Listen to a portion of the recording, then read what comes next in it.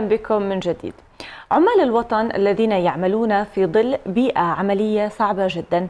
يمكن لأصغر التفاصيل أن تحميهم من بيئة العمل الصعبة.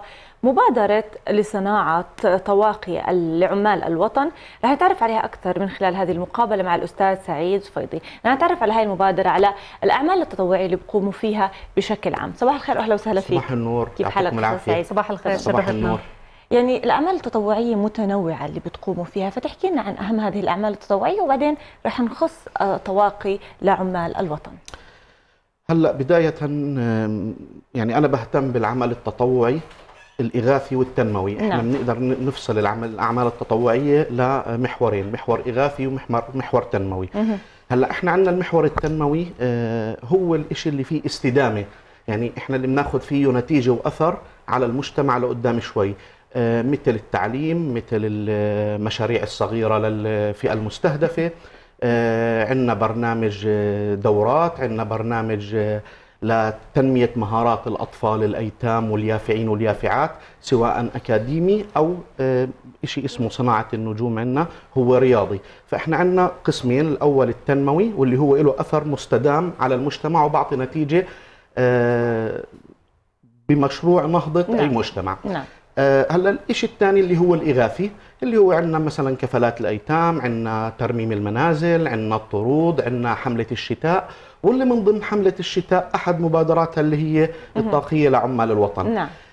آه راح أحكي لك أكثر عن عن المبادرة واللي هي هلا فعليا بتخص حملة الشتاء اللي إحنا جلستنا عشانها. حملة مم. الشتاء هي راح تعطي أكثر من معاني إحنا عندنا المعنى الإغاثي. المعنى الإغاثي إحنا حكينا إنه هو حاجة آنية هلا للمجتمع وما إلها أثر لقدام على مثلا تنمية المجتمع أو نهضته. بس إحنا راح نحاول بالمشروع الإغاثي تبعنا بالمبادرة إنه نضيف قيمة للمشروع الإغاثي اللي ناخذ منها أثر على المجتمع. نعم. فمبدئيا إحنا حملة الشتاء أول قيمة ضفناها إنه تجمعنا أكثر من جمعية وأكثر من مبادرة. فإحنا مثلا شركاء في حملة الشتاء عندنا جمعية شباب الخير التنموية. وعندنا جمعية باب الخير للعمل التطوعي هدول جمعيات مسجلين وتحت إشراف وزارة التنمية الاجتماعية نعم. عندنا مبادرات طلابية عندنا مبادرة بسمة الحياة معنا بالمشروع وعندنا صناع البوليتكنيك من جامعة البوليتكنيك وعندنا مجموعة خير التآلف اللي عملناه لحملة الشتاء ضاف قيمة إنه ممكن نقدم إحنا نموذج للجمعيات والمبادرات إنه كل ما تجمعنا وتوحدنا في مشروع ممكن يعطي نتيجة وأثر أكبر على على, على الفئة المستهدفة صحيح. أكيد. هذا بداية هلأ إحنا حملة الشتاء عندنا بتضم آه توزيع آه صوبات توزيع إحرامات توزيع سجاد كسوة كسوة كاملة للبيت وممكن كمان للأطفال والأهل اللي آه ملابس شتوية نعم. تخدمهم بهذا الفصل نعم. هلا من أحد المبادرات اللي هي طاقيه لعمال الوطن. أستاذ أنا حابة أسأل عن المبادرة. يعني أهم شيء كان في المبادرة اللي لفت انتباهي هي الفئة المستهدفة. اللي إحنا بنحكي عن عمال الوطن واللي بشكلوا تقريبا 5000 عامل موزعين بكل أنحاء المملكة من الشمال للجنوب وإحنا بنشوف الظروف الصعبة اللي عم بيشتغلوا فيها والأماكن اللي بيوصلوا لها سواء كان بالصيف الحار خلينا نحكي أو البرد القارس عم بيأدوا واجبهم الوطني ليحافظوا على المملكة نظيفة خلينا نحكي وحلوة. فإنه الفئة المستهدفة والفكرة اللي اجتكم خلينا نحكي عنها شوي لأنه فكرة المبادرة صراحة كثير حلوة. تفضل. هلأ أنا حكيت لك بداية إحنا العمل الإغاثي راح يكون آني وروح. إحنا عشان ناخذ منه نتيجة فقلنا بدنا نضيف قيمة. قيمة له صح. لما اخترنا عمال الوطن حبينا نضيف قيمة على العمل الإغاثي تاخذ أثر لقدام. مثلا هلأ أنا عندي عامل الوطن من حقه إنه يتكرم. ومن حقه إنه يكون في عنده آه تميز على اللي بيعمله. أنا اللي المواطن العادي لو أقدم له هدية بسيطة إيش راح تكون يعني نفسيته؟ راح ينبسط جدا وهو يعني هو بتلقى هدية جدا. يعني هي متواضعة وبسيطة بس أكيد. أنت عم نشعر فيه عم, عم تشعر فيه وبتحسسه إنه أنت شايفه إنه يعني. قيمة يعني. آه إنه له قيمة. هو قاعد بخدم الوطن بخدمني أكيد. بخدمني وبخدم أصحاب المحلات بخدم وحس إنه هدول الجماعة اللي هو بخدمهم لساتهم متذكرينه. فهم قدموا له هدية بسيطة متواضعة بس راح تترك أثر بنفسه. فهلأ إحنا عندنا محورين على إضافة قيمة. هلأ أعطينا لعامل الوطن إنه إحنا معك وإحنا شايفينك وحاسين فيك وبنقدر جهودك وتعبك. هي أول نقطة. النقطة الثانية لما أطلقنا المبادرة إحنا كتآلف أو جمعيات ومبادرات إحنا الهدف مو إحنا نوزعها. إحنا طلبنا على صفحاتنا على التواصل الاجتماعي إحنا مأمنين الطاقيه أوكي. تعال أنت وجيب أولادك خذوا الطاقيه وانت طالع من بيتك الصبح بتوصل الأولاد على المدرسة أعطي خلي ابنك يعطي العامل الوطني اللي في الحي عندكم هدية منه. يقول له تفضل عمو شكرا. هذه يعني إحنا بنحبك وبنحب الجهود اللي بتعملها وشايفينك طول السنة. هاي هدية منا بسيطة إلك فأنت هيك زرعت قيمة في الطفل أكيد. انه إنه عطاء وقدر قيمة مهنة عامل الوطن عم بيشتغل واحترمه ولفت انتباهه من هو صغير انه في شخص قاعد يعني قاعد بنظف ورانا قاعد بي يعني بدير باله على الحي اللي انت ساكن فيه. بتنزل تلعب بال آه، قدام بيتك قدام هذا نضيف من مين؟ هذا الشخص اللي انت قدرته هو السبب في هذا اللي إحنا فيه. فإحنا بالحالة هاي ضفنا قيمة للعمل الإغاثي. فبطل الموضوع آني. يعني أنا ممكن اعطيه طاقيه ممكن إحنا بالجمعية نطلع المتطوعين الموظفين اللي عندنا ويعطوا الطاقية يوزعوها وانتهينا.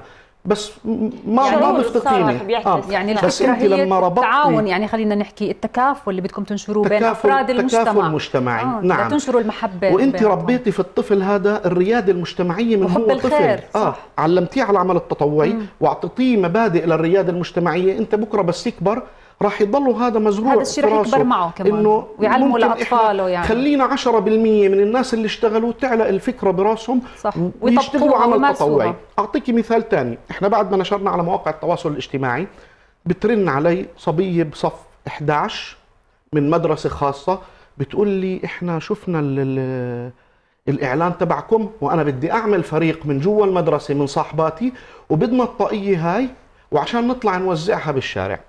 فانت حركتي إيش؟ طلاب في مدرسة. ممكن صح. المدرسة يكون فيها ألف طالب. هاي البنت تكون نشيطة تنشر المشروع تبعها. شوفي إحنا شو أثرنا بطلاب المدارس. صح.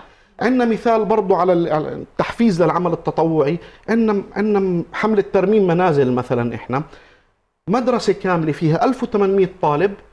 كانوا البرنامج أول يعملوا آه، جمع تبرعات ويرمموا المنزل. بدون ما حدا يعرفه الإدارة وهذا لا ضفنا لهم برنامج بالرياده المجتمعية عندهم بالمدرسة خلينا الطلاب ينزلوا على المواقع هم يختاروا البيوت يشوفوا شو بدها صيانة يشوفوا شو بدها هذا وياخذوا يعملوا فيديو صغير وينقلوه للمدرسة. 1800 طالب حركوهم هدول المجموعة من الطلاب ساهموا كلهم بترميم المنازل اللي هو عمل اغاثي بس ضفنا له إيش؟ طبعا. ضفنا له قيمة. مم. وهذا الحكي بنطبق على حملة الشتاء بنطبق على الطاقيه اللي هي يعني هي رمزية, رمزية صح. وسعرها بس رمزي. معناها كبير. آه بس معناها كبير لعامل الوطن ومعناها كبير لل... للشخص اللي قدم بتبرع فيها أو حتى ممكن أنا طالع على شغلي الصبح وأنا مارق بالشارع أعطي طاقيه هون طاقيه هون أنا اليوم وأنا جاي على الإذاعة كنت أحد الشوارع اللي مشيت منها بجبل عمان. م. فأنا وأنا ماشي شايف العمال الوطن لابسين الطاقيه اللي أنا وزعتها بالشارع هذا. وقد إيه هذا شيء مفرح بالنسبة لحضرتك؟ خلينا نتحدث عن المواد الخام المصنوع من هذه الطاقية اللي بتوزعوها على عمال الوطن. هلأ هي هاي الطاقيه يعني هي جاية جاهزة. إحنا معايير كان آه. هناك معايير محددة. هلأ ليش إحنا اخترتوها آه. مثلا بتغطي الفم والأنف وتظهر فقط العين وتغطي بالرأس كامله؟ هلا نيجي نرجع للجانب الإغاثي. إحنا الهدف إنه بدي عامل الوطن ما يشعر بالبرد وهو شغال. هلا امانه عمان بتوزع عليهم الجاكيت اللي هو آه، تبع المطر خصوصي المطر. بس هو هذا فعليا ما بدفي. ما بدفي هو هذا بيحمي من المطر بس هو محتاج تحت طاقية الجاكيت شيء يدفيه اللي يشتغل براحته. فإحنا هاي شرينا الطاقية اونلاين على الإنترنت. قعدنا ندور عبين ما لقينا شيء ممكن يغطي ويدفيهم يدفي كل الراس وببين وتارك مكان للعين تارك مكان لهذا اللي يقدر يشتغل براحته.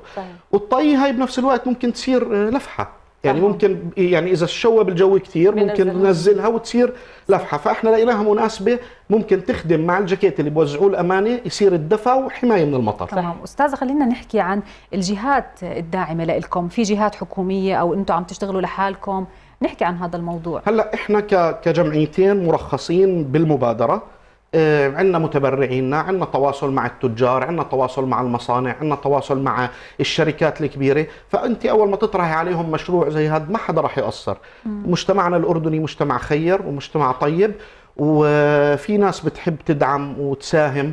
فما كان في أي مشكلة بطرح هيك مشروع بخدم عمال الوطن وبخدم أبنائنا.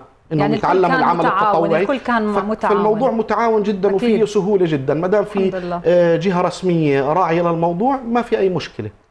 الحمد لله. تمام. المهم النتيجة بالآخر تكون مثل ما إحنا كلياتنا بنحب اللي هي آه، زراعة الخير خلينا نحكي بين أبناء الوطن جميعا. أنت بتشوفي يعني بتشوفي على على الأطفال اللي هم بيوزعوا آه، فرحة ويعني إنه أنا قدمت شيء أنا عملت شيء أحد الأشياء اللي صارت معنا وإحنا ماشيين بالسيارة وقفنا أعطينا طاقية لعام الوطن بتطلع فيها. بقول أنا امبارح شفتها على الفيسبوك وكان نفسي بوحدة زيها. وثاني يوم إحنا بالصدفة ما بنعرف.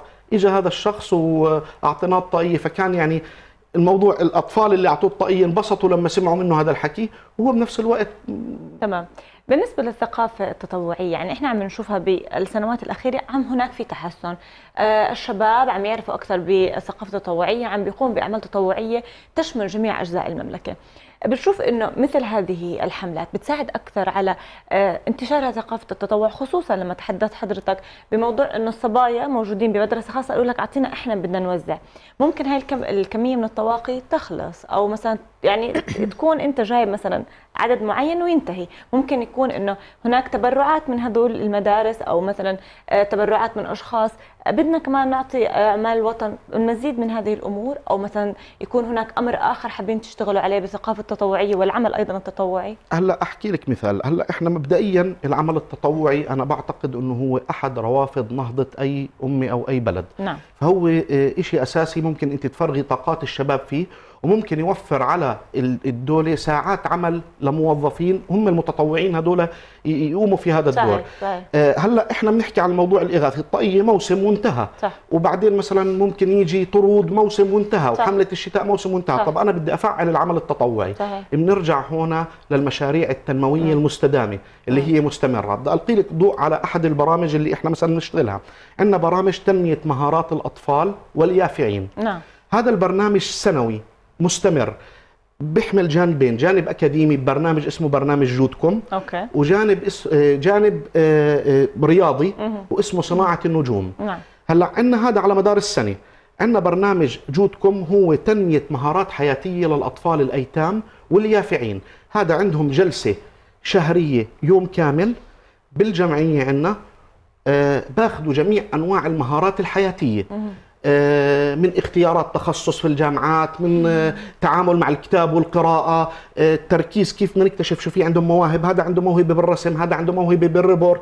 مع السنة اللي فاتت طلعنا اثنين عملوا روبوت وداخلين على مسابقة إلها. شاء الله. بتطلع الإبداعات اللي جوا الطفل. مين بيشتغل هذا الموضوع؟ متطوعين. إحنا بنقدم في بداية السنة بيكون عندنا لقاءات مع المتطوعين بنختار منهم في أعمار معينة للمتطوعين؟ طلاب جامعات okay. طلاب الجامعات هدول راح يكون مسؤول عن طفلين okay. سنة كاملة بالبرنامج المهارات الحياتية.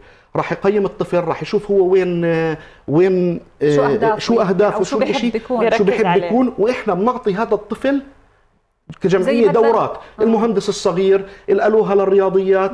وبنشاركهم بمراكز. وآخر شهرين بالسنة راح يكون عندهم project مشروع. هم بدهم يشتغلوا بإيدهم ويعرضوا هذا الجانب الأكاديمي. عندنا الجانب الرياضي اللي هو صناعة النجوم. آه وهو له سنتين شغال. قاعدين بنختار الطلاب المميزين في الرياضات. يعني بنجيب مجموعة أطفال. عندنا تيكواندو عندنا كرة سلة عندنا كرة قدم وعندنا فنون جميلة. م. نختار مثلا 20 طفل نعمل لهم دورة شهرين المميزين منهم واللي ممكن يطلع منهم بطولات لقدام بناخذهم بنشاركهم في أندية عندنا هلأ 10 طلاب مشتركين بنادي تيكواندو لهم سنتين. إن شاء الله يعني من هون لنهاية السنة بوصلوا حزام أسود راح يدخلوا بطولات دولية راح يجيبوا لنا ميداليات ذهبية مثل ما جاب لنا أبو غوش بالأولمبياد. إن شاء الله. عندنا آه كرة السلة قاعدين بننشئ طلاب مبدعين في السلة يعملوا فريق يدعموا الفريق الوطني لقدام.